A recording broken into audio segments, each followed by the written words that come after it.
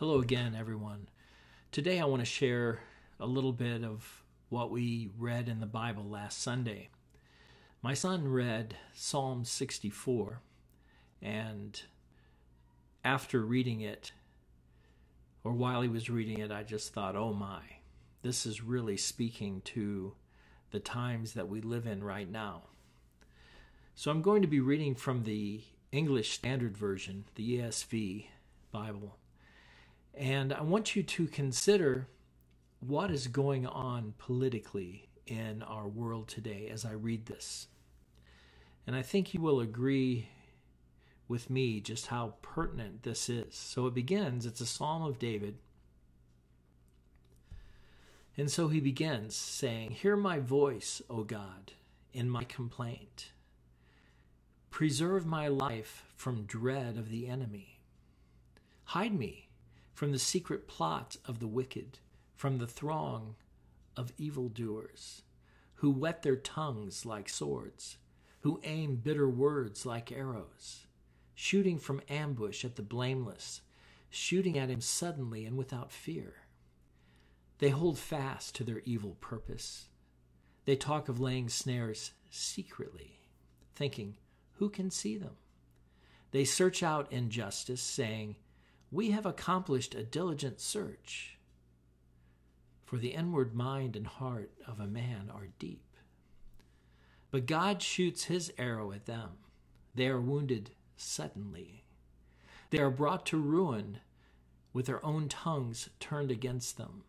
All who see them will wag their heads. Then all mankind fears. They tell what God has brought about and ponder what he has done. Let the righteous one rejoice in the Lord and take refuge in him. Let all the upright in heart exult. Well, does this remind you of anything? Doesn't this sound exactly what has been playing out politically now? Let's read it again now and let's apply it to what's been going on. And I'm not equating President Trump with David. So far, I don't think that God has turned Donald Trump's heart toward him in the same way that he did David, but I think that is coming. But think of this psalm as having been written by President Trump. Hear my voice, O God, in my complaint. Preserve my life from dread of the enemy. Who are President Trump's enemies? Virtually everyone except those who voted for him and who have continued to support him and have begun to support him since he was elected almost three years ago now. But everyone has fought against him in the most tenacious ways that you can imagine. So imagine President Trump praying, Preserve my life from dread of the enemy. Can you imagine the dread that you would be in if you were constantly attacked like President Trump is attacked? Can you imagine living under the constant barrage of hate, vile hate, that he has been under? And this is why I just totally repudiate and rebuke the people who say that Trump is on the same team as all these people who are wagging their tongues at him, who are attacking him, who are trying to destroy him, who talk about killing him or killing his family. I've never heard that kind of speech in my entire long life with respect to political foes. They don't work for the same side. And God is going to be making that very clear shortly. Not today, but I believe in a few weeks. Verse 2 of Psalm 64, continuing President Trump in the place of David praying, Hide me from the secret plots of the wicked from the throng of evildoers. Their plots have been made in secret, haven't they? But that secrecy is about to come out. President Trump did an interesting press conference today. Today is May 22nd, 2019. And he is now beginning to forcefully call out the Democrats for what they did. He's beginning to call out their secret plots.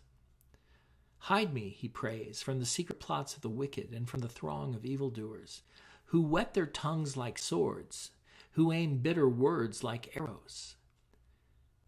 Their words have been bitter. Their words have been vile. Their words have been evil. Their words have fomented revolution in this country. Their words have fomented violence in this country. Their tongues are like swords. They want to create bloodshed. Shooting from ambush at the blameless, shooting at him suddenly and without fear. They don't seem to fear, do they? The Democrats, the media, those who have attacked Trump relentlessly for three years, they don't seem to fear, do they? They ambush him and he has been proven blameless. After 30 plus million dollars were spent by Mueller and his team to destroy Donald Trump, he was found blameless. Verse 5 But they hold fast to their evil purpose. They talk of laying snares secretly, thinking, Who can see them? They search out injustice, saying, We have accomplished a diligent search. And that's still what they're doing, isn't it? Mueller came back with his 400 plus page report finding Trump did nothing wrong. All resources were open to Mueller. The investigation was so complete. It's baffling to me as an attorney to even imagine that Trump allowed them to do that. And he did allow them to do that.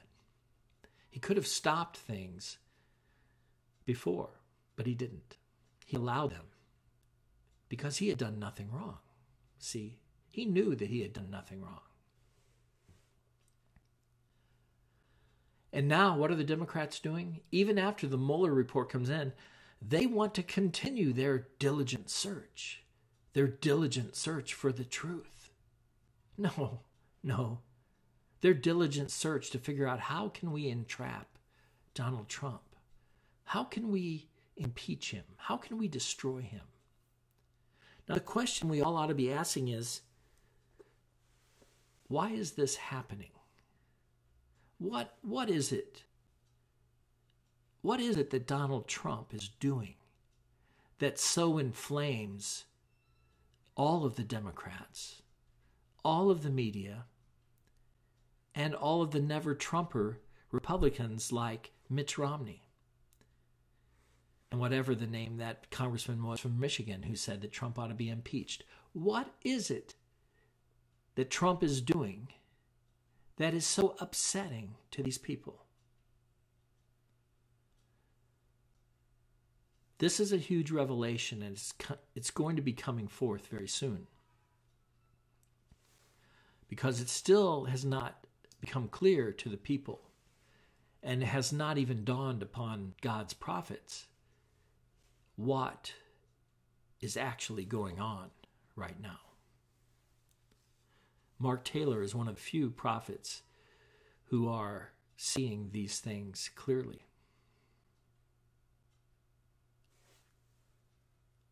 Then, verse 7. So we've just now We've seen what the Democrats are doing. And then God sums it up by saying, For the inward mind and heart of a man are deep, deep waters. Boy, it boggles my mind that they can sit in public view and say the things that they say, knowing that everything they say is false. It boggles my mind. I don't know how a man does that. I can't comprehend it because I can't do it. Okay. I win criminal defense cases because my clients are innocent. I don't win because I lie to a jury to convince them of something that is false. I look for facts to prove that my client is innocent, if in fact he is innocent. And if he's not, then I advise him to take the best plea he can get. But the Democrats, the never Trumpers, the RINOs, Republicans in name only, they can lie to your face and not even change a look. How do they do that? What's inspiring them? What's inspiring them? Think about it. Verse 7, Psalm 64 7. But God shoots his arrows at them. They are wounded suddenly. Suddenly. Suddenly. They are brought to ruin with their own tongues turned against them. Their words are going to be used against them, and they will fall and they will fail because of their own words, because of their lies, because of their dirty tricks, because of their blackmails, because of their other many sins. They are brought to ruin with their own tongues turned against them. All who see them will wag their heads. The time is coming when people will be saying, I always knew it. Even the rank and file Democrat supporters, finally, many will come to their senses and wag their heads at their leaders. Then all mankind fears. All mankind fears. See, this psalm is prophetic. David was speaking to the far future. It had never happened. It has never happened yet, but it's going to happen. Then all mankind fears. Fears why? Because suddenly men are accountable again. See, those who have ruled for a long, long time are never held accountable. Hillary Clinton was never held accountable for the many things she did. Barack Obama has never been held accountable for the many things that he did. James Comey never held accountable for the many things he did. John Brennan, on and on. You can say that about all of these people Eric Holder, Loretta Lynch, James Clapper, all of them are still free and chirping like birds, lying like